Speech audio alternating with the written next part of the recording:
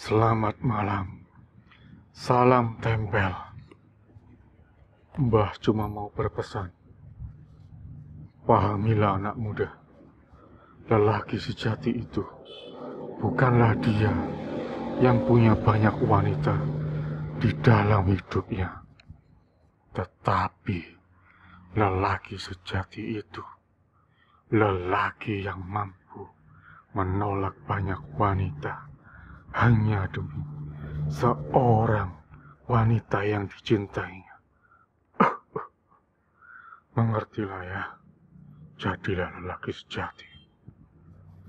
Jangan lupa like, share, dan subscribe. Terima kasih. Salam tempel.